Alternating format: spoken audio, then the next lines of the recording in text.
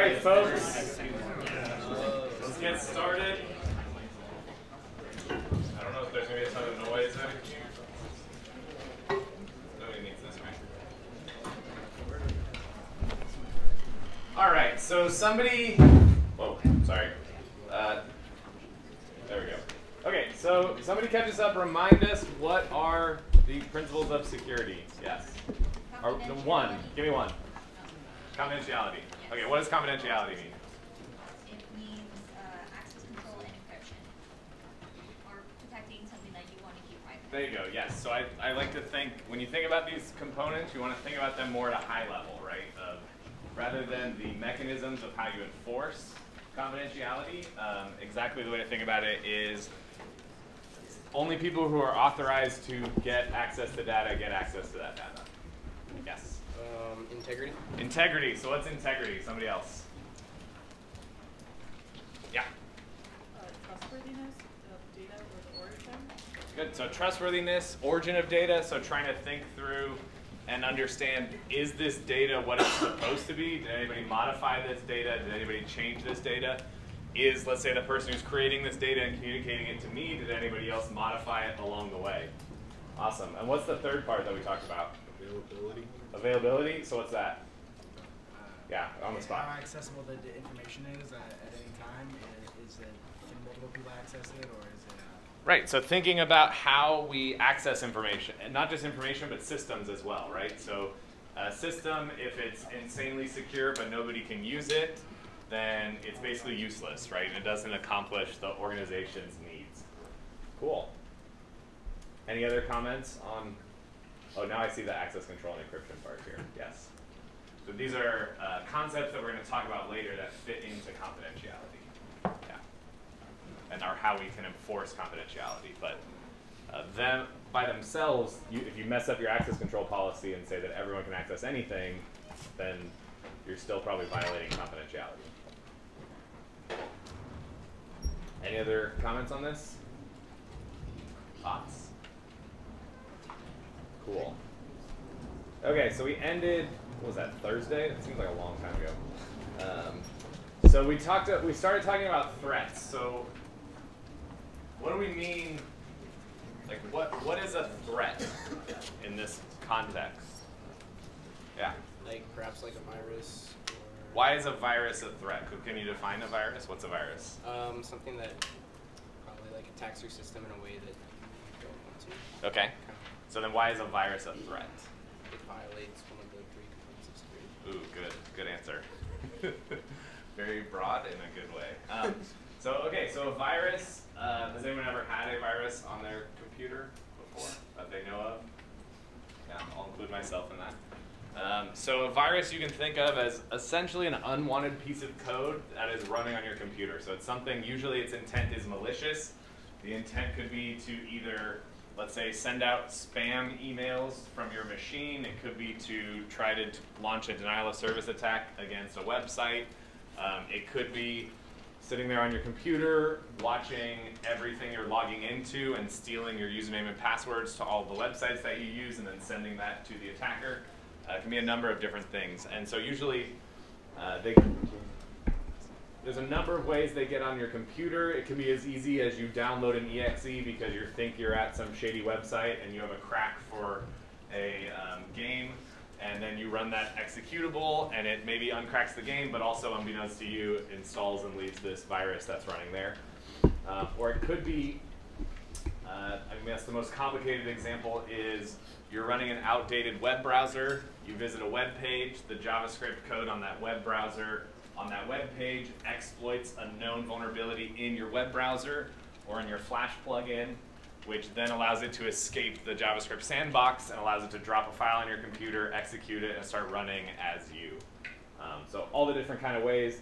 And so the threat, so then kind of, so then the threat there is there's some, you can think of this like code with malicious intent in some way of thinking about it. Uh, there's this code that has malicious intent that's on your system that is doing something that a bad person wants it to do, which you probably do not, which could violate your confidentiality.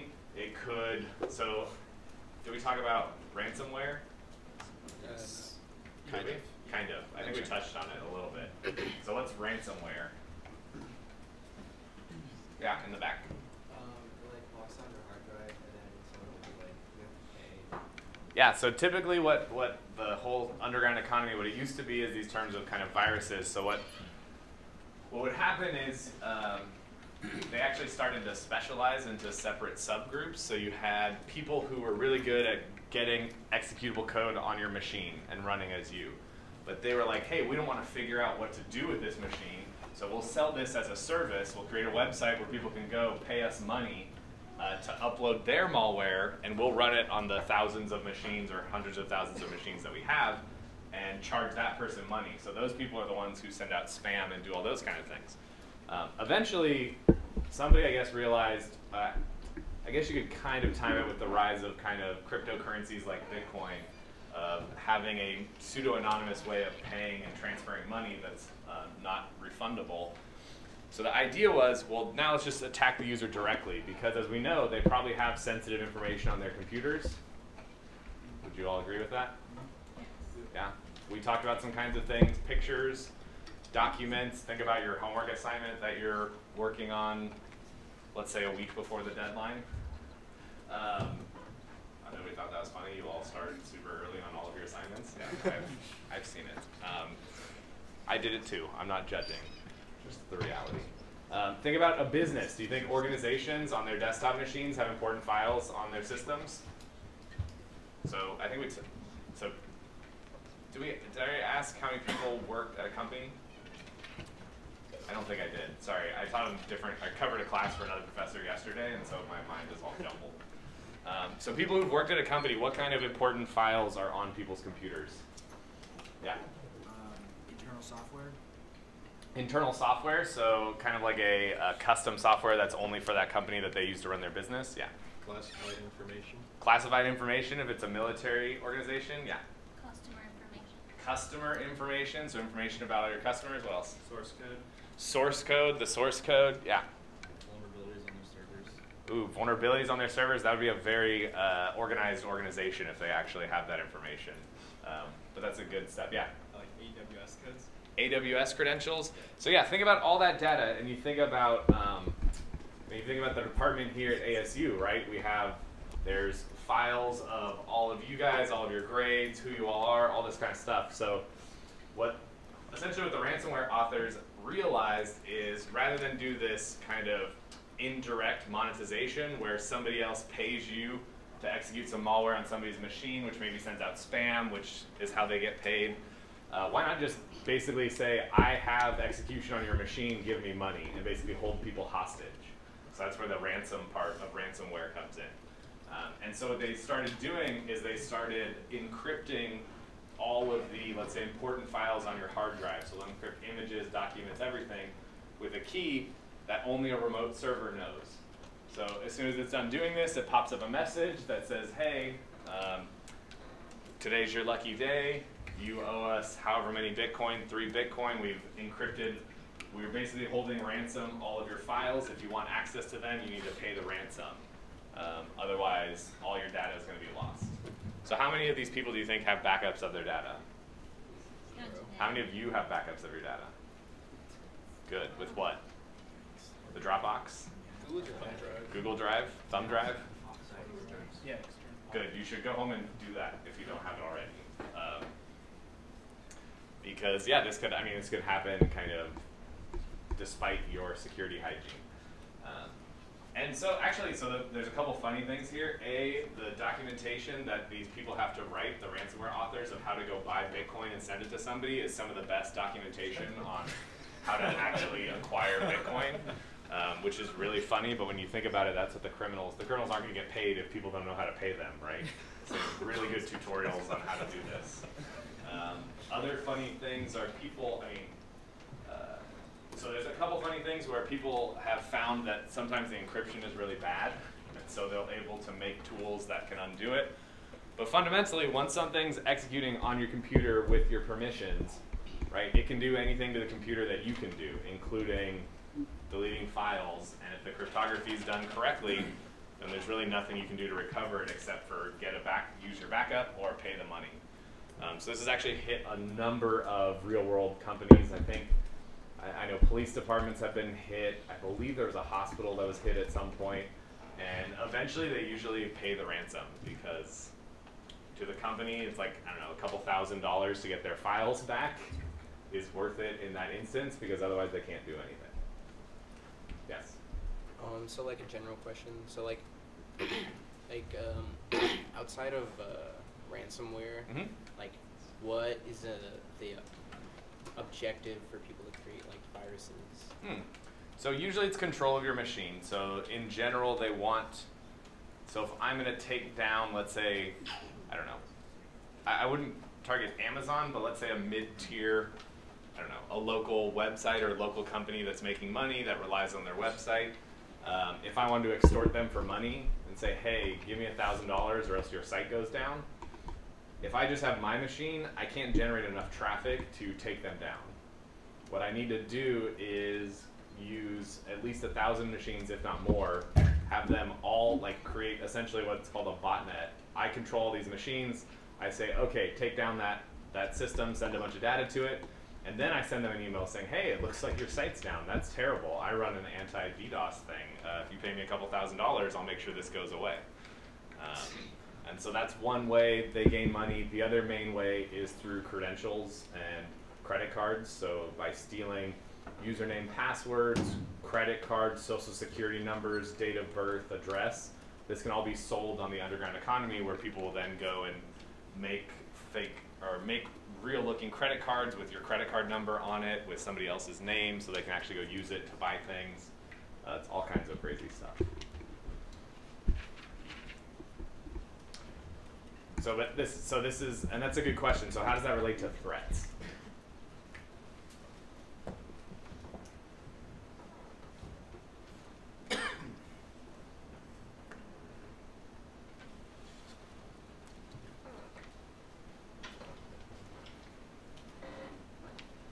Yeah. I mean, those are things that compromise the security topics that we were just talking about. Mm-hmm. Right. So that's it's uh, yeah, compromising the three aspects that we just talked about. And when you're thinking about threats, and you're thinking about threats to a specific system, you can create more realistic threats if you understand what the essentially the attacker's mindset is, right? About what is their goal? Are they trying to make money? Are they politically motivated and trying to break into you? Are they trying to steal state, state secrets? Like, what are they actually trying to do at the end of the day? And so that can help you think of threats. So, what are some of other threats that we should be considering or thinking about in general? Insider? Insider threats. What's an insider threat? You don't trust people on the inside? No. No? Why not? Because uh, people can. It, it, it varies from person to person, but someone can be an idiot, or someone could go, get into an organization and not like what they see in that and try and release some of that. Yeah, so an insider threat is basically you can think of as any threat that can occur based on somebody who's inside the company, inside the organization. It's not something that you would normally typically think about because we're mainly focused, I mean, when we think about threats, we think about external threats, right? Like who's going to come attack us. But insiders can do just as much, if not more, damage. So there was a story, I think it was in the early mid 2000s in Australia, where there was a sysadmin who was working at a sewage processing plant, and this person was fired, which is what happens, right? And then this person was upset that they were fired, which also happens. Uh, but this, they decided to get revenge on the company. They realized all their credentials still worked to access all the systems. So they logged in and caused, uh, I believe, sent some commands to release the sewage gates or something so that a bunch of sewage flew, uh, flowed into the ocean and caused like, actually it's like a huge ecological problem. There was like sewage all over the beaches um, where like nice hotels and tourists were. It actually caused a lot of damage. So uh, I believe that person was found and prosecuted and spent some time in jail for doing that. So it's a really good example of a case where you need to think about, like, okay, you fire somebody, well, how long do they have access to those systems for? Right? Their digital credentials. Do they still have, how do you know that they didn't install any backdoors on any of the systems? Right? If they change the root password on one of the systems, now it doesn't matter if you remove their credentials, they can still maybe log in. Um, so these are important threats to consider. What else?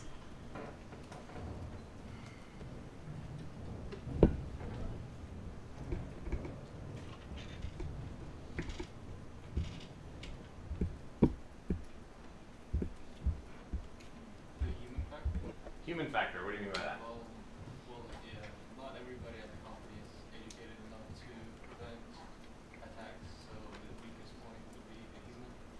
Right, so considering the human, which a little bit goes into insider threats, there have been instances of people, um, I don't DSP guys on the front line just don't know.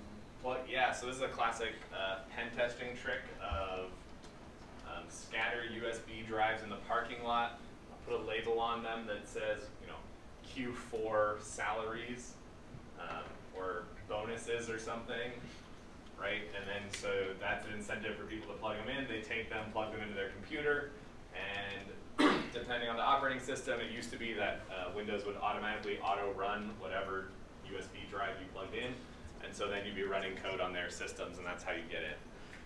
So yeah, the human factor is incredibly important. What other ways do humans play a role in threats? Phishing. Phishing. So what's phishing?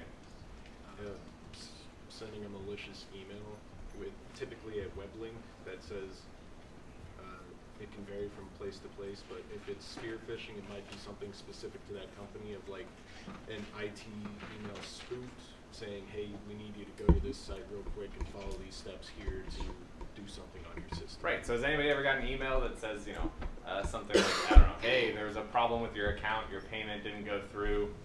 Like, click here to fix it, or Get phone calls. even things like paying your credit. Uh, let's say credit card. They're pretty good about that. But let's say paying your power bill or your rent or something. They send you an email to say, hey, go do this.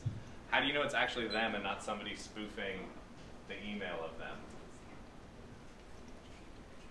How do you know that that site that you go to is actually your bank site or your power company site and is not somebody who created an identical looking site that's going to use that username and password you send in and steal it? Yeah. You can usually like check like the URL. So you can check the URL. Do you trust the URL? Uh, so a lot of times I guess there's like some key things that can throw something to be like suspicious. Yeah. What else? Yeah. I mean, I hate to say it, but a lot of them are just like terrible spellers. Like, yeah. So that's actually that's a phenomenon. Uh, I can't remember the exact term. I think somebody called it basically the Nigerian scam theory in some sense, where some of these scams they're deliberately so like if it costs the spammer time to try to the scammer time to try to scam you, then it's in their benefit to actually weed out as many smart people who aren't going to fall for the scam. It's not smart, but uh, to weed out as many people who aren't going to fall for the scam. So they sometimes will deliberately do that so that the only people who reach them are people who didn't see any of those red flags, so they're going to be on the hook and are going to fall for whatever they do. uh, which is kind of funny. But then you got to worry about the other way of, are you worried about somebody blindly, you know, sending an email to everyone in this class to try to scam all of you, or to target one person to say, I'm going to scam you. So I'm going to craft it, you know, I'm going to craft it exactly to get your interest and to get you to click on things. Yeah. There. Uh, when I worked uh, at a manager over the summer, they would periodically send out security like testing phishing emails to see if they. Yes, this is a good practice that companies do. Is they'll try to phish their own employees so that that way they can try to educate them about the dangers of these kinds of things. Because it's very easy to click on a link, end up on a page, type in your username password for whatever that page looks like, and then now all of a sudden you've given your credentials, your username password to somebody else. Yeah. Yeah, I think I'd uh, check on the the padlock, the green padlock next to the address. I can buy a green padlock for any domain that I own, Oh, and you which goes. It's a similar. It's a also similar check thing. if it's HTTPS. Yes, I could also Without buy. DS, it's not secure. Correct. Yep. But I can again, if I control, so if I buy a domain name, let's say I'll pick on uh, Google. Like if I buy G O zero O G L E dot com, I can get an SSL certificate, so it'll show a green lock. I can run HTTPS, and you have no way of knowing. And that's even just using ASCII characters. But now you can actually use all kinds of UTF-8 characters. Uh, there are a lot of characters in a lot of languages that look identical but are technically different characters, so you won't be able to tell. So a story that I'll tell that actually came up in DEF CON, uh, I'll tell the high level. So um, essentially, one of the teams found out that one of the challenges they were able to basically redirect somebody. So somebody would access the challenge in their browser, and they were able to redirect the browser to go somewhere else. So what they did is they registered a fake domain. So our domain was, I think, ooverflow.io. They did ooverflow, but one of the L's was a capital I instead of an L.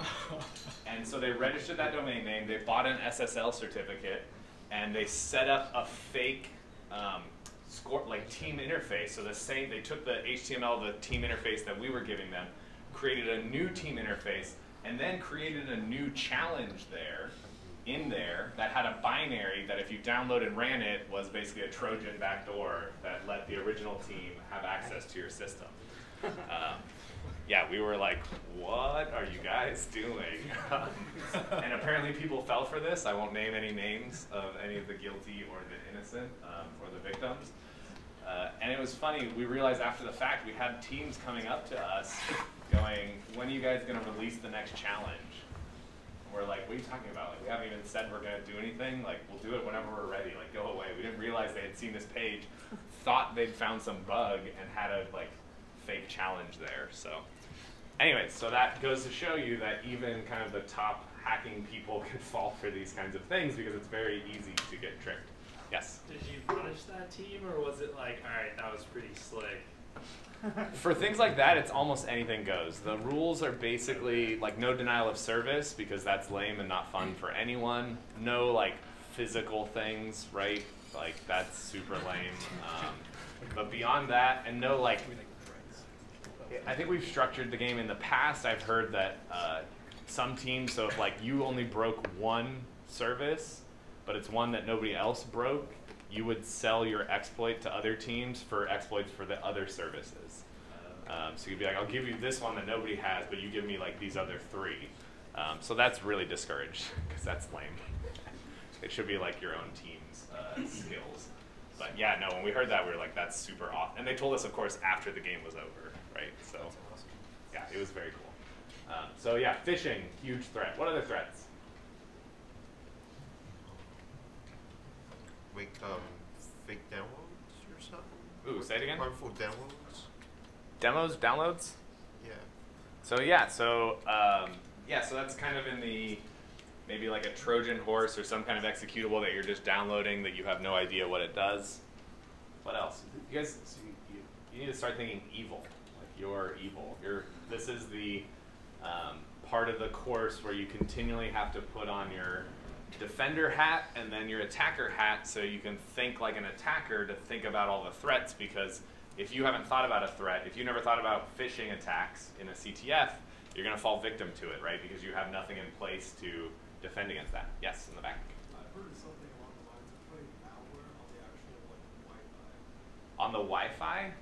in the middle, I think. That's Oh yeah, okay. So you can yeah. So the um, uh, so Wi-Fi, right? You can have an open Wi-Fi that has no password or secured Wi-Fi. Uh, if you've never looked at it, maybe I don't know if I'll have time in this course, but if it's an open Wi-Fi, anyone can see any packet that you're sending from your machine to that router, which means all I need to do is have a you put your network card in promiscuous mode, which listens to all the packets that are getting sent, and I see everything that's getting sent. And even more than that, if you're making a request to a website, I can spoof the reply, I guess restricted to the fact that it's not HTTPS. So any HTTP site you're visiting, I can inject something in there to do stuff. So this was actually uh, a huge problem. There was a tool released in, I can't remember when it was, but called Firesheep, where it would listen to the wireless network if it saw anybody's Facebook, because Facebook was transmitting the cookies over HTTP. So all you needed to do was steal that cookie, and then you could become that user. So this was an automated tool to look at all the people's Facebook, and then just one click, like send me to Facebook as this user, and then you'd be on Facebook as them. And Facebook fixed that very quickly, so they changed their website because of this tool, which was super interesting. So yeah, if you think about if you're running a, um, a company with an open Wi-Fi, then you can see all these things, and this could be a huge threat that you're not considering. Yeah. Um, this was a while back, mm on a documentary I saw regarding um, uh, black hats. Mm-hmm. There was a group of people who actually managed to get into a bank by, pretend, faking their credentials. Yes. So think about physical security, right? Nobody mentioned the, problems that can come up with physical security. Would you trust me to be alone in a room with one of your laptops or desktops? yes. Yes? Why? or why not? Because you work for AS. Because I work for ASU. You don't know what I do. Why should you not? I mean, replace me with anybody else. Um, You because could take that hard drive. Because I can take out the hard drive, and if your hard drive's not encrypted, I can look at all the data on your hard drive. If your hard drive is encrypted, but it's a weak password, I may be able to brute force that password and get access to your data. What else can I do? Have you, has nobody ever broken into a computer? Like, you like have an old computer, you don't know the root password. What do you do? Is everything lost? Just the password. You what? Change the root Yeah, password. you change the root password because you have access to the hard drive, right? You can just change. I mean, the password is stored in a file, etc shadow. You can go in and just put a new hash there of a new password, boot it up, log in as root, and now you're into that computer. I could even, I mean, so I guess I should say I can't, but people can, and they've showed that. So we all kind of are under this delusion that hardware is very sane, but actually, so they've shown that um, your if you think about your memory chips, right? So your memory chips, after the power goes out, they actually have a bit of a life to them, and you can extend that life by making the memory cold. So they've actually done this study where they would, um, I think it was before they turned off the hard drive. I can't remember exactly how it was done, but they would, you know, you, the cans of like computer spray. Yeah. You turn it upside down, it gets super cold. So you do that, for basically like make the memory very cold, turn off the computer, take those memory sticks out, plug them in a new computer, and then you can read all the memory that was on that computer, which oftentimes includes the encryption key for the hard drive if your hard drive was encrypted. Um, so all kinds of crazy stuff that can happen with physical access. So which is why if you want to talk about, well, I have a very secure, you know, system, process, company, whatever it is, if somebody can waltz into your data center where all your computers are, it's essentially game over because they can do almost anything.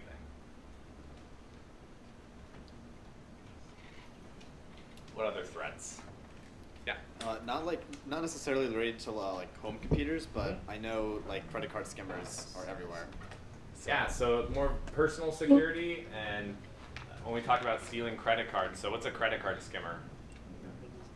Yeah. It's a piece of hardware you put on like a gas pump that like, it swipes your card uh, as you push it through, so it gets like. Yeah, so you think about, right, when you put your credit card through, there's a magnetic stripe on there that the credit card reader is reading. So what you do is put another device on front of it that reads the credit card as well, stores it, and then we'll send it wirelessly back to the um, back to the criminals so that they can then create fake credit cards and use them to purchase things on your account. Yeah. Can you access the chip cards now with Bluetooth? though? I don't know. The chip cards are supposed to be better, but it's tricky because they can still be used in an, in a lot of non because there's a lot of uh, places that don't have that don't have the chip readers, so you could still use the card there. You could also use the card online once you have the number. Um. False flag stuff.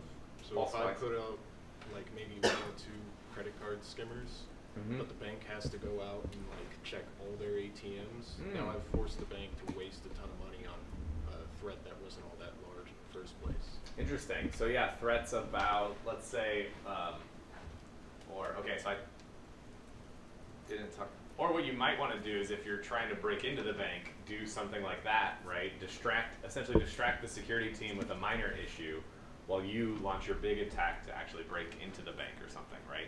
So yeah, that's an interesting uh, point. Cool.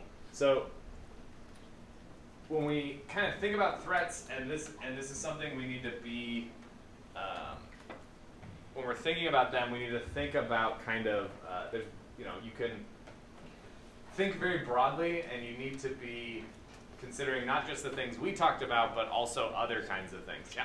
What, what about threats uh, against uh, like deep learning, Threats against deep learning. What do you? so you want to elaborate on that? like computer vision, like um, one pixel attacks and all that sort of stuff? Yeah. So what about you think about um, voice voice attacks? Right? So yeah, Alexa, Siri, all those kind of things, which I'll actually tell another story about DEF CON. This was for the qualification event. Uh, so one of the other people who I won't name is anybody taking 466? Some of you. Uh, so Yan Shoshitaishvili, who's teaching that class, created a challenge for DEF CON Quals, which we had in May, and it was called Atom Tune. So the idea was he took all of my YouTube videos, uh, trained a basically voice recognition system on that, and the challenge was say this phrase in Adam's voice. And you had like 30 seconds to do it. If you couldn't do it, if you did it, then you got the flag, otherwise you didn't do it. So what happened is all of these people, all of these teams everywhere were watching my videos and downloading videos and getting snippets of my voice in order to fake this, um, to like fake voice authentication as me. It was very weird. Um, I am very glad that nobody called me. because I was kind of worried that somebody would find my phone number and like get me to say whatever phrase it was. Um, but yeah, it goes to show that you know the AI, machine learning, all these kinds of things are also other systems and threats that we need to consider and think about um, when we're considering threats, right? So if you're basing everything on this voice recognition system, well, you better understand how good kind of these deep fakes are, where they can not not only uh, where they can capture your voice and create kind of a similar sounding voice, which may pass authentication. There was also that Burger King commercial that uh, kept on linking to the Wikipedia page. People would go and change that, so it would say other stuff. Oh, interesting. I hadn't heard about that. That's funny. They, they had a mm, commercial that says Alexa, what's in a burger?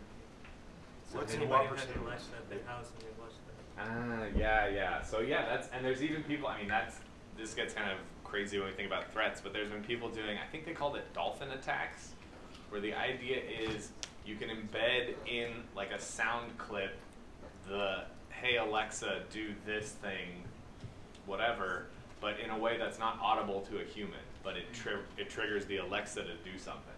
So when you're listening to that, you would never know that it's doing that, but your Alexa is actually listening to that and responding to that command, uh, which is pretty cool. So yeah, I don't trust any of this stuff, except it's super handy and useful. So what are you gonna do? Okay, so these are actually kind of all the things we've talked about. Uh, when you think about threats, disclosure, threats to disclosure of um, accidentally leaking information, deception threats, or some, and these are kind of just high-level categories to get you to think about the things that we've talked about. So the specific categories themselves aren't super important, um, but the idea here is thinking about kind of threats in these ways. Awesome. So, okay, cool. So let's see which ones we've talked about and which ones I have here. So what's snooping or wiretapping? Yeah. Either putting a bug on a phone Mhm. or shifting the hardware over so that way you can have a backdoor to listen to your own Mhm. conversations. Yep. Or even, so you know, how do packets get from us to Europe? Underwater. Underwater. Yeah, there's underseas cables that are linked between all the continents.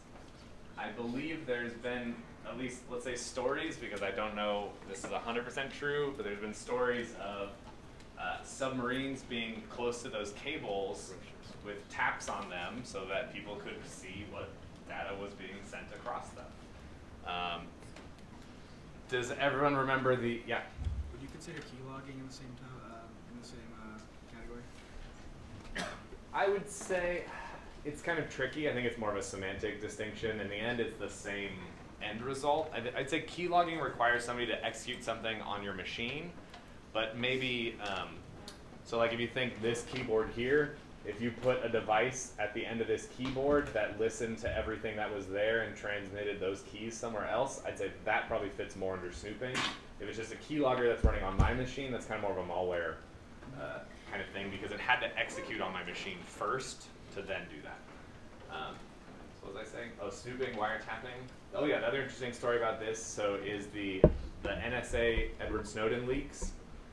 So one of the things that was mentioned in those leaks was that um, that the NSA. So when you think about a big company like Google, Google's very good about encrypting everything that goes from you to Google. They use SSL, they make sure that everything's encrypted, but Google runs these huge data centers. So Google was not encrypting the information like in between servers or in between data centers. And so your data would go into Google and then it get processed in a bunch of places. Uh, it turns out from the Edward Snowden leaks that the NSA was tapping all of that internal communication that was going on. So they were getting all that data. I think, and not just a big on Google, I think it was also Microsoft and maybe another, I don't remember if it was also Amazon. So then, so you think about, they never thought about that threat when they were thinking about threats to their organization and their customer data.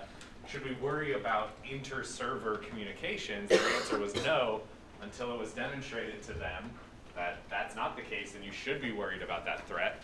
And so they ended up encrypting all of their internal communications too now. Um, so that was kind of interesting.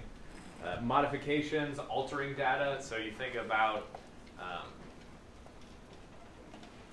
if I'm going to make, let's say, like a stock order to my stockbroker or whatever, and I say buy, you know, 100 shares of this, but somebody modifies that to say sell 100 shares of this, or turns it into buy 100 million shares of this, um, you know, that could have serious consequences. And so those are also threats we need to think about. Um, so some of the terms we use to think about this are uh, man in the middle.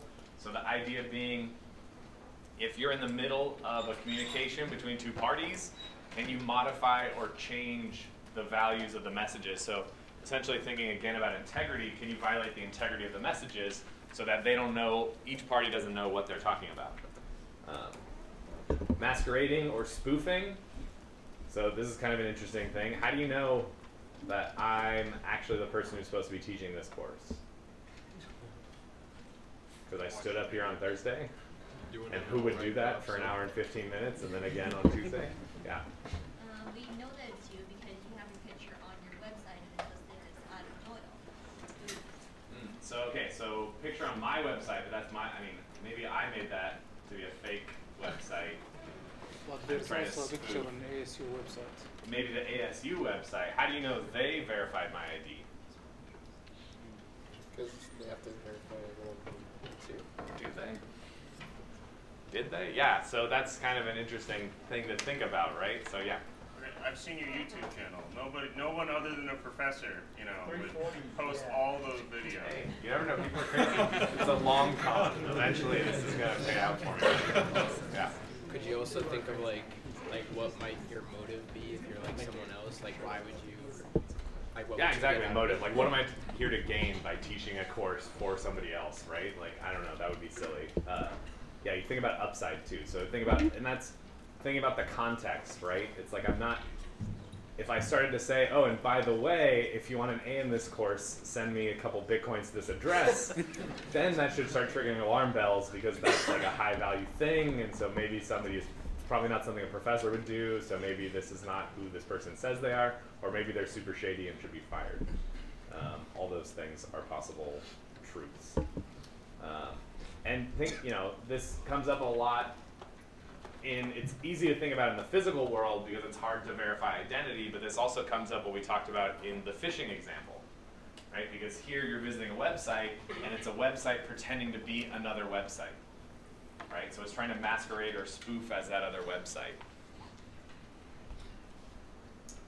So except in the case, so anyone, um, what's tricky here is that this actually, this masquerading or spoofing thing is actually built into a lot of uh, systems. So do you think Michael Crow answers every email that he gets? Yeah. Personally? he sits down, he's a machine, he just cranks out emails. I don't even want to imagine how long that would take to go through his emails. Um, so most email systems allow some form of delegation where you can say, okay, this person, my uh, executive admin, they are able to respond to emails as me. or this is also, you know, I have uh, some people at ASU I work with a lot, and so they can actually see my calendar and change events and do stuff because uh, I don't want them to bug me about it, so they can just go do it. Um, so this is actually an interesting thing because on the surface, masquerading or pretending to be somebody else seems like a clear security violation. But there are legitimate business cases, and in those cases it's called delegation, right? You want somebody else to act as you. So what do you want in order to make that be not a clear and a clear security threat? Yeah. Some way to, to verify the, the, the delegate. Like, like Yeah, so you want to verify the delegate just as they're ver- as you're verified. You have I was something? going to say something along the same lines. Be able to uh, verify who is uh, masquerading as someone else. Perfect. Log that activity. Log it. Yeah, you'd want to log all of the delegates' activity, right? So you could go back and see and audit that and say, okay, are they like, did they do anything weird, right? Uh, that they shouldn't be doing, and that way you have some, you can trust them to do things, and you can also verify at some point that they did things correctly, and that way that gives you, I mean, some leeway. If somebody sent a mean email as a high-ranking person, they can say, oh, that was a disgruntled admin. We can see that from the logs. It wasn't actually them. So we didn't really talk about this. What's repudiation?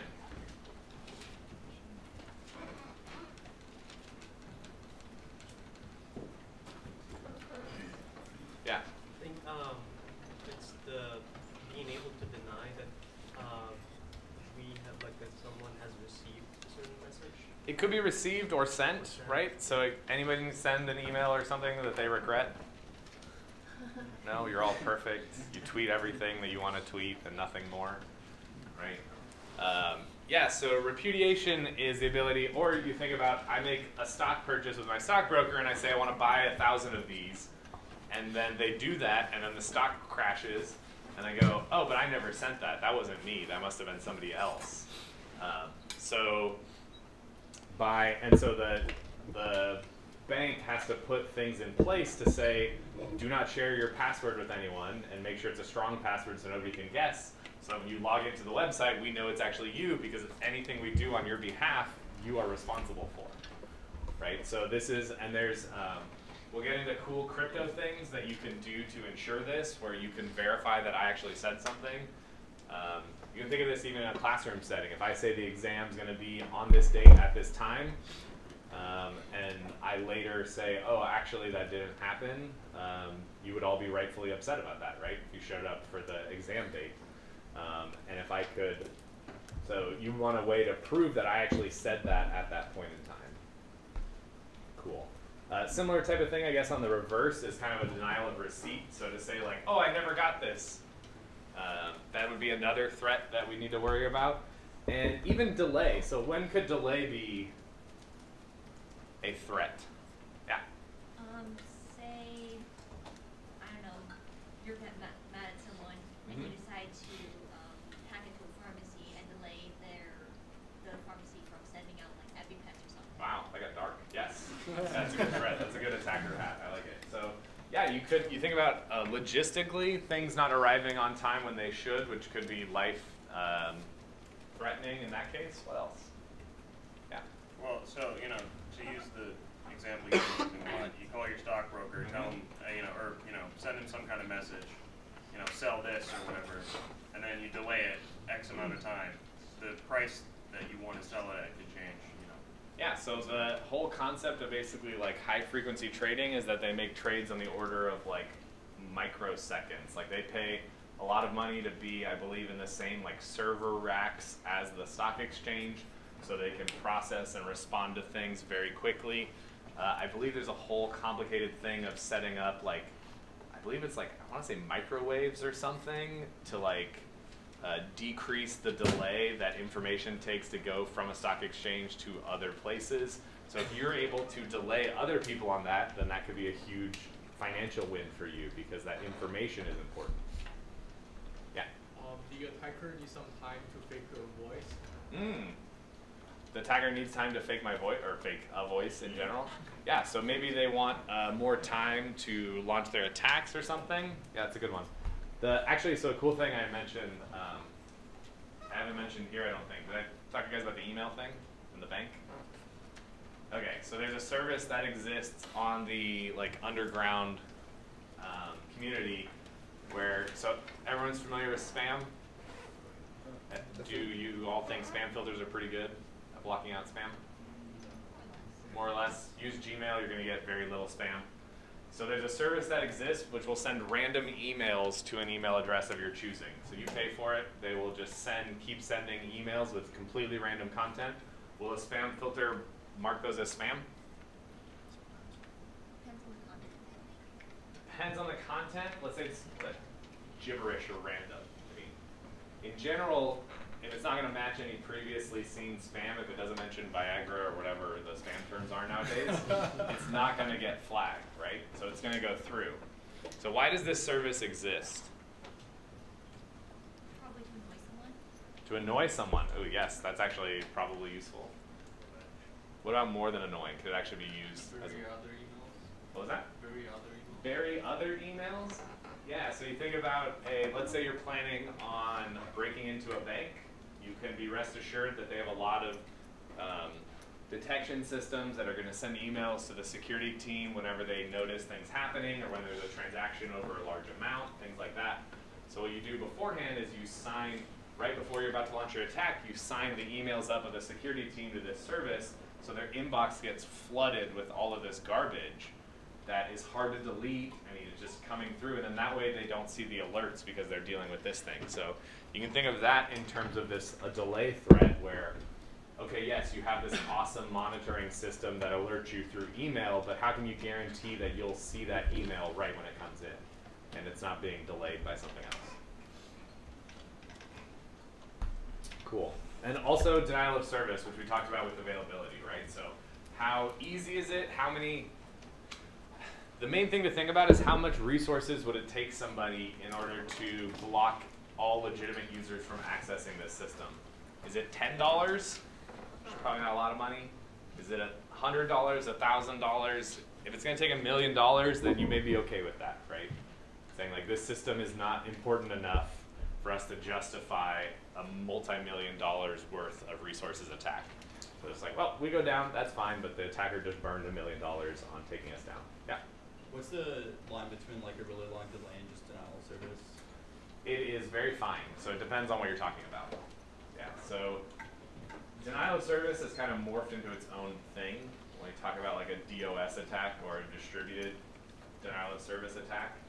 Um, so it has a little bit more concrete where you're trying to overload a system, but delay is kind of more subtle in thinking about that more. But you can achieve a delay effect with a denial of service. So Yeah, can you explain the way again?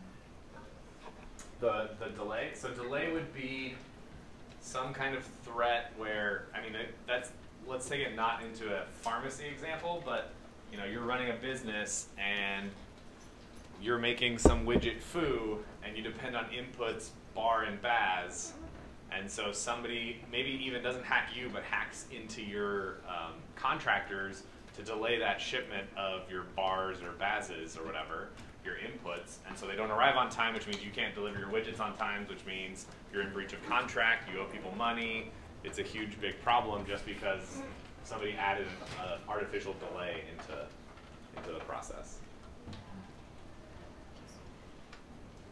Cool. So how do we defend against threats?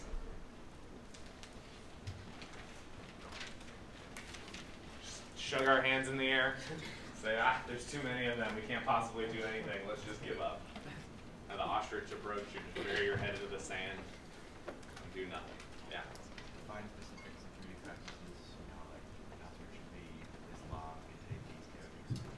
Yes. Okay. So, and that's would be a policy, right? So you could create some kind of things. If you're worried, let's say, about um, people masquerading as other users on your system, you could create a password policy that says all passwords must be like this, or passwords can't be like this, easy to guess, all these kinds of things. Yeah, in the back. hardware. Hardware. Yeah, so you may invest in hardware to combat specific threats. So if you're worried about a denial of service, buy more machines. You buy a, a server to run in front. You can pay a company like Cloudflare, Cloudflare or Akamai to help you deal with a denial of service attack. Yes. Uh, maybe securing your devices. So like if it's a server, you might defend like have like guards or something. Yeah, so actually you can use a, uh, a lot of actually data centers will have kind of things where it's like two-factor authentication, you need to show your ID card to a person, there's like a thumbprint reader, maybe even a retina scanner. Um, inside the thing they'll have, I think it's called a man trap, which is like a thing that, like a big cage that comes down on somebody if they're not authorized to be there and try to break in. Uh, the server, the server rack itself could be locked, um, so you are the only people who have the keys to get in there, right? So yeah, you can um, do those kind of things. What else? Yeah. Um, maybe have like some fake soft targets. Hmm. to direct redirect all the attacks to them and kind of want Yeah, so this is kind of the, the idea is the honeypot approach. So you can create some fake systems and say, watch anything that happens to those systems, right? Because they're fake, nobody's actually using them. So I know if there's any traffic to them, it's probably malicious traffic or something bad is happening. Um, the trick about redirecting them to that is you need to be able to identify an attack in the first place. If you can identify an attack in the first place, you should just stop it. In most cases. Yeah. Uh, inform your user base. Hmm. So I'd say educate maybe your user base. Yeah. So try to identify what threats come from humans or come from users, and spend money, effort on educating them. Right, which is what happens. Do you all have to take like the ASU information security training? Only if it's us. Yeah. staff. Oh, cool. Awesome. You should be taking that too. Um, yeah, Nate, you think about ASU. ASU is a crazy problem. I was talking with, um, it's actually all your fault. Um, no, just kidding. Uh, no, but I was talking with, I think it was, I don't want to mention names, but I was talking to somebody and they mentioned one of the, when you think about a company, what do you think the average turnover rate of employees is per year? Like turnover rate means how many employees leave per year and how many new employees come in. Percentage wise? Yeah, rough. Like all employees? I would say 10, maybe less, Yeah. even 5%. You think about a whole big company. Um, what do you think the turnover rate is for ASU? Including student It's like, employees? yeah, including students, like Probably- tw- not just employees, right? Because you're all on the same network. We're all on the ASU network. It's like 25%, right? Because you have a huge core, like basically a quarter of you all graduate as seniors, and then a new quarter of students come in. And so the ASU network, basically not just the network, but you have to deal with people who you haven't really trained to be on your network. They're coming in. It's just they're bringing all kinds of devices. It's like defending a university network. Sounds like an insane job to me. I'm happy that there's people who do that. Yeah. Uh, back to Yep, this. please. Um, one of, like a general way is kind of like predicting what might uh, like attacks before they happen. Right. So one of the, you know, exactly. So not just predicting attacks, but predicting what is an attacker likely to do. So you can do this in a number of ways, right? You can actually simulate an attacker. You can go hire a company to break into your systems. And this is usually called a penetration test. And it could be even a physical penetration test. So I'll try to bring in some people this semester. Uh, I'll try to bring in some people this semester to give guest lectures on this, on some of this stuff, who actually do this for a living. Um, but I remember listening to some stories where the goal is to get up to the third floor, or the not the third floor, but like you know the twentieth floor of some building, some super secure building, and the company hires you to do that. And so they have all these tricks about how to blend in and how to get in without a badge and all this stuff. And you know, just like a normal security um, computer pen test, it's like I don't know, ninety percent of the time you're able to get in. It's like crazy. Um, yeah. Are, are like protocols the way kind of what you're trying What do you mean protocols? like having well defined um, so means of communication where there's no ambiguity. Hmm. Okay. So between maybe like people, Yeah. or like in the company or the organization, yeah. So I kind of put those under policies too, right? So these are like you have policies. Policies can be any number of things, right? Like a a one really good policy to have would be how does money transfer out of your company, right? Who is authorized to spend money from the corporate checkbook? Uh, there's actually a large case of uh, basically, it's I think they call it whale phishing, where instead of so normal phishing is just you're sending out emails to collect credentials on whatever service. Spear phishing is you're targeting a specific person. Whale phishing is you're targeting like the CEO or you're targeting the usually the CFO and trying to convince them to send money uh, from the account from the corporate account to you. So what uh, one case that I've heard happen is I think it was the pen testing team, so this was like a, a good scenario. They called the CEO in the middle of the night on their home phone to see what the CEO sounded like yelling. And then one of the people on the team practiced that voice. And then when they knew the CEO was on travel, called the CFO yelling about, I need, you know, we've got to transfer this money to this account. I'm closing the deal with so and so, and we need, you know, $50,000 into this account. You've got to make it happen. It's got to happen now. Um, otherwise, we're going to lose the deal. And then they start to do that process, right? So that goes to protocols and not having procedures in place of how, you know, like a two-step, a two-phase commit in some sense of who is authorized to do that. Um, what happens when a CEO asks you for something crazy like that? Do you double check with them, check with them, and maybe the CFO to make sure this is something, you know, those kinds of things, right? And having those procedures and policies in place aren't super important because then that protects, you know, the employees from being like, well, I can't do this. It's not, it's not part of the policy, right? It's not part of the proper protocol. Yeah. Say audit log everything. Ooh, audit everything. Yeah. So this is a good. Um, so this is when thinking about how to what happens after something happens, right? So it's very easy to spend all of your time thinking about building a beautiful castle with beautiful walls and hiring guards and thinking about how you're going to protect things. But the reality is something is always going to happen, right? So a key component is thinking about what's. I mean, if something happens, how can I figure out what happened, and then that way I can put new procedures in place. Um, that's weird. Okay, cool. So essentially, the way I think about these and the way to think about threats and how to defend against them, it really boils down to two things, and pretty much everything we've said boils down to these things. So one is policies. So we talked about policies. What, how should people be operating, or how should systems be operating? Um, as an organization, what are you kind of requiring people to do? The second one is security mechanisms. So what mechanisms have you put in place to try to ensure certain? So what's the difference here between these two? Yeah. Policies are more people oriented and mechanisms are more technology oriented. Yeah, in some sense, right? And there's a um, there's a very tight, I think, coupling here between them. So they're not as it's not as just like this black and white, you know, this is a policy and this is a mechanism, right? Um, let's think about a lock on a door. Is that a policy or a mechanism? It's a mechanism, right? It's a it's a lock. It goes in the door. There's a key associated with it that can open up that door. So what's the policy? But if you just have a lock that's unlocked all the time, is that an effective security mechanism? No, clearly not, right? Because it's not whatever your overall security goal is. That's not actually doing anything, right? If your goal is to keep out people who should not be out, then it's not doing anything. So what kind of policy would you need there? Yeah. Rules for who holds the keys. Say that again. Rules for who holds the keys. Rules for who holds the key, who pa- who has a copy of the key, can the key be copied, how the key passes from person to person. What else would you need? Yeah. When it's locked.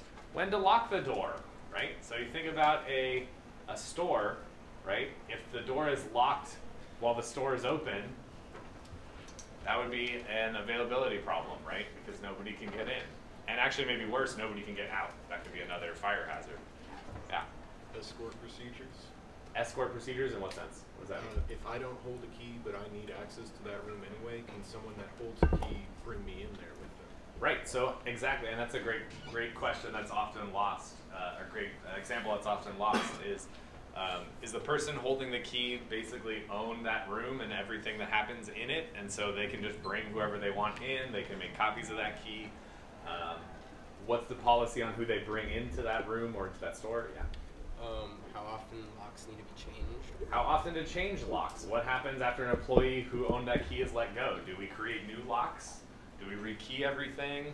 Um, that way we know they don't have access, right? So these are all, and you can see we've touched on a lot of things that are mixes of mechanisms and policies. So we have this key and this lock mechanism, but how to actually use that effectively to accomplish our security goals is really the realm of the policy, right? About when is it supposed to be locked? Whose responsibility is it to lock it when they leave? Are they respons- I mean, responsible for doing that, right? So you have a policy that says the last employee to leave the store must lock lock the store, and in the morning at 8 a.m. you must unlock the door. Um, and then you'd have to worry about what happens if somebody needs, if maintenance crews need to go in, or the cleaning crew. What happens if the store gets cleaned at night? All these kind of things actually need to uh, be thought about. Cool. Okay, so now we're going to, with the remaining time, this is fun. We're going to talk about a house. So everybody know what a house is? We don't own one, so. but you've seen one, I think. You understand the, uh, a house in general. Okay, so if we think of a house as something we want to defend,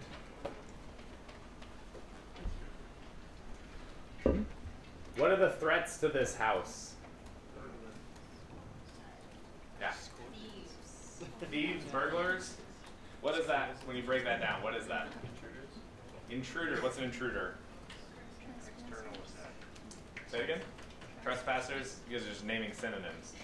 Somebody define it. These are all good synonyms. I'm not saying they're wrong. There, there's someone that that want things in your house and you want them. Yes. So somebody who's unauthorized to be in your house who wants to get into your house for the purposes of stealing something, but do we really care what their purpose is? Not, not really. It kind of, it kind of depends there. Yeah, in the back. Natural disasters. What kind of natural disasters are you worried about? Hurricane, hurricanes. You live in the middle of the desert. Okay. Dust storms. Dust storms. There you go. There you go. Um, or trees falling on your house in a dust storm or wind heavy event. EMPs, What was that? EMPs, What's an EMP? electromagnetic pulses. That is a threat. So this is part of um, thinking about defending a system. You need to consider all kinds of threats. Yeah. Someone just walking up and hucking a bomb at your house. Walking up and hucking a bomb at your house. Okay. I mean, Yeah. you could throw those from with like Oof. even like so like 200, 300 feet away. You could just be lobbing bombs at a house. Right. So you, if you think of it higher, you're worried about um, like pro- destruction to the property from an unauthorized person, right? Because if you're defending your house in such a way that nobody can destroy it, then you can't remodel your house, right? Because you'll stop whatever construction crew is coming in uh, to do stuff. What did you say? Maybe just uh, fire in general. A fire, yeah, Like, destruction. have seen, uh, Scorpions, that was a good, terrible one. I had, uh, yeah, I had this happen. I think it was the first time I taught 340, where a student was had a scorpion on their backpack and then was stung by a scorpion. So we had to spray the whole room. Yeah. So if you see a scorpion, kill it. That's that should be a normal rule because apparently other students saw it and didn't say anything. So, look out! Look out for your fellow students. All right, yeah.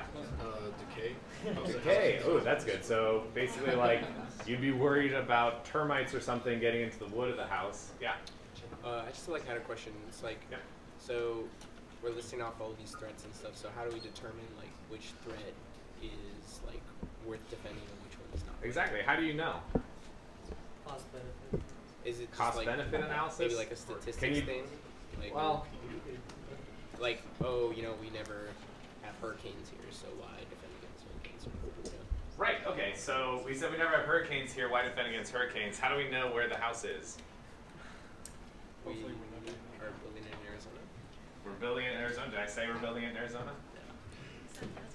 Yeah, you I did. did say desert. You did. right. I said we're in the desert. Why would you think about a hurricane? Maybe. Somebody check the tape. They they can comment. What else didn't we say about the house? How much we're gonna spend on this? How much we're gonna spend on the house? What else? How big is it? How big is it? How many entry points? How many entry points? What else? Yeah. Um, already existing like water or electrical things in the house. Yeah. What what what does the house like physically look like? What else? What's it for? Who's it for? Right? Is it for one of you? Is it for me? Is it for somebody with a net worth of like a billion dollars, like Bill Gates? Do you think we'd have to consider different threats for every one of those different scenarios? Right? Bill Gates is going to have to be thinking about a lot different threats than maybe he may be much more worried about intruders than we'll be worried about, or the people hucking bombs threat. he may be worried about that, and we may be less worried about that. Right? So I deliberately under-specified the house to get us to then think about threats, but then go back around. So, okay, so then what kind of house do we want to build? So let's say it's for a normal-ish person. Does that make sense? Normal person. I don't know, how many stories do you want? Two stories. Let's Two in a basement. Two in a basement. do they do basements in Arizona? Some houses do. Some do? The. Interesting. Okay, cool. Okay, so two in a basement. What are we making it out of? What are we making it out of? I don't know. Let's say wood, but that may impact our. Uh, let's say we already have a house. Let's say we're not building it. So we have a house made out of like normal house stuff. I don't know. I'm not a construction person. I don't own a house yet, so I'm not that familiar with all that stuff, which is. Uh, and so, okay, so then when we think about the threats, so what threats? So net, then we do need to do a cost benefit analysis, and it's not something that you can really kind of hang a I don't know. There's been a lot of attempts to try to quantify it. If you can quantify it reliably, you will be a very rich person because this is something that is very difficult to do of quantifying the cost benefit analysis of threats to a system. Um, so when we think about that, so normal house, um, so what kind of, so what kind of threats, so like are we worried about aliens coming and Yes. Yes, yeah. some of you maybe. And that would be very bad, right? So if you're sucked up into an alien spaceship from your house, that may be something you want your house to prevent, right? So the negative is really bad, but if you think about the possibility of that thing happening, it's probably astonishingly low until some weird news comes out at some point. Um, so we can basically kind of ignore that threat and say, that as part of considering threats, we think about it, but then we kind of set that aside and say, okay, we're not going to actually do that. Yeah. So a big part about, um, you know, or I guess preventing, or yeah, Mm-hmm. preventing threats is um, determining how much of your functionality you lose when you Mm-hmm. determine, or when you prevent threats. So like if you booby trap all your, you know, windows and doors, then how are you gonna get in? Yes, it's also depending on the state illegal. I don't know. I'm not a lawyer, but in some places it's like if you booby trap stuff, you're liable for what happens to somebody when they. And then you think about. So then when we think about threats, we think about well. Uh, one of the things we didn't talk about is what about if I, you know, the person living in the house has a medical emergency, right? They would want um, the ambulance to come in and help them, and if their place is booby trapped, they're not going to get the help they need, right? So that's definitely something uh, to think about. So what other threats are we thinking about? Yeah. Uh, the neighborhood you're living in. The neighborhood we live in. The other homes around you. Say it louder. Depending on the quality of the other homes around you. Yeah, so you may be, uh, it just may change your threat posture about what you're worried about, right? And do you need, I don't know, if you really value your privacy, you may want huge fences that are super thick that or whatever. Um, or you may be fine with no fences. I mean, there's some neighborhoods or areas where that happens. Uh, what else? What kind of threats? And then now we'll start thinking about how realistic and should we be thinking, like defending against that. Yeah. Getting swatted. Getting swatted. So what's getting swatted? So someone called the SWAT team. Yeah, so this is a unfortunate thing that happens um, where somebody will spoof a call to a police station, say I'm being held hostage, I'm at so-and-so address, and then they send a SWAT team over there and it's your address and nobody's held hostage. Uh, it's actually really, I think somebody died from doing, from that happening um, a while back. Um, so yeah, I mean, that's a hard one to defend from just a house level, but it's possible. Little kids who come and ring your doorbell over and over again. Ooh, doorbell ditchers. So if you're worried about neighborhood kids ringing your doorbell because you're apparently an old man or something. No, I'm just kidding. Whoa, bro. just kidding. Yeah, people Uh, on your people getting on your lawn and you want the kids to get off your lawn. Um, what else? What other threats? Um, maybe you have a pool. and you need to A pool? Yeah, you may have a pool, so you may. Um, I don't know if this is a problem in Arizona, but my parents were just saying that they had, uh, 'cause they were renovating their backyard and they had a bunch of deer tracks leading like to the pool area. And then now, but they're super worried because there's a cover on the pool, and they're worried that a deer is going to fall in the pool and end up like dying in the pool. So now they're worried about what mechanisms to put into place so that deers don't go into that area. Um, so you think about things like that. Uh, what else? You're gonna make sure uh, whoever built it didn't skimp on materials. Mm, okay, so yeah, you'd want to think about threats, and that's more to kind of the availability, the structure of the house, making sure the house is sound. In some sense, there's little you can do unless you know what to do or you have somebody else audit it, right? So the, the reality there is depending on your budget, right? And that's another thing to think about is we talked about the realism of a threat. So we talked about, I mean, think about it is should I be worried? So if we're building this house for a normal person, should they be worried about people tunneling into the ground and tunneling up into their basement? No, probably not. Should Bill Gates or somebody like that be worried about that? Potentially. Maybe. I mean, it depends on what you have in the house, right? But you know, it happens to banks. It, if you're worth a lot of money, you maybe want to consider that threat. Yeah, in the back. I can't hear you. Ooh, yeah, so this happens a lot now. Uh, stealing stuff off the front porch. You get a lot of Amazon deliveries, and people um, steal packages off your front porch. Yeah, this is a much, and which, so, so then, okay, so then this is a good discussion. Let's talk a little briefly about like what, what kinds of poli. It's weird. Okay, so what kind of policies will we put in place to defend these threats and mechanisms? Let's go with both. So take a threat, say what you want to defend against, why you think it's a legitimate threat, and talk about how you try to defend it. Yeah. Um, against uh, burglary, Yeah. I would use uh, gated windows, Okay. so they can get into the house via the window. Cool. Okay, yeah, so you can put um, bars on your windows, right? So why, so I guess not really thinking about that too much, but so that would be a mechanism that you could put in, install into your house to prevent burglaries through windows. What else? What are some other things? Yeah. To prevent fire, you can keep an extinguisher and make sure you always have a cell phone so you can call the fire department. There you go. So you could, so that would be, so the, making sure you have a fire extinguisher would be a mechanism, right? A policy would be replacing that fire extinguisher every year or however long it needs to be. Um, along with that, what you didn't say is making sure you have um, fire alarms in every room of the house, or what are those called? The smoke detectors. There we go. Uh, the smoke detectors in every room, and then you need a policy about how often you check those smoke detectors, making sure that they're still working, that they have batteries, right? Because if they die, then your mechanism is ineffective. Uh, what was the last thing you said? Uh, I just said make sure you have a phone so that we can Phone, the yeah. So that would be policy, right? So that would be. You may actually want to have a landline because if there's a fire, maybe well, your cell phone would probably work. I don't know if an EMP goes off and you're worried about that, your landline is still going to work most likely. Yeah. Uh, a policy for keeping people from stealing your packages might be having them get a signature Hmm. or putting it in like a PO box. Yeah, so one thing would be requiring all packages to have a signature. That again has the trade-off where now that's super annoying if you're not home, um, or have a specific area where they can leave, or maybe I mean another way would be you have like a fenced-out area where the UPS or whatever drivers know the code to get in to drop the package off, but other people don't, so that could cut down on that. What else? Yeah.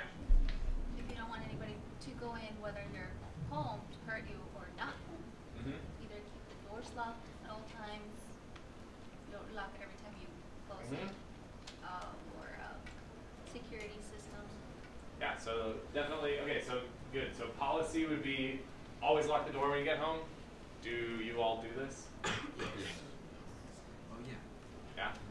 Okay, see, I thought, okay, yeah. So I grew up, uh, both of my parents were with the Sacramento Sheriff's Department, so we like always locked our door. I mean, it's just like a natural thing. You go home, lock the door. And then I started living with people in college, and I realized that was not a standard thing. They'd be like, Adam, why do you keep locking these doors? Like, we're, we're here. I don't want anyone else to come in. Like, I don't know. It's just a natural thing. You go in, you close the door. Like, I don't know, lock the door. What's the, what's the big problem? Um, so yeah, and then the mechanism might be a security system, right? You may install a security system.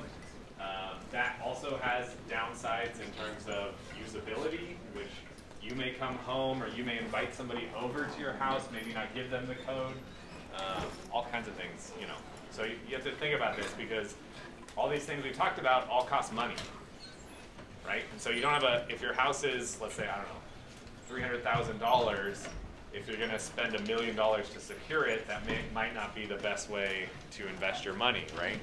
Um, yeah. Can't hear.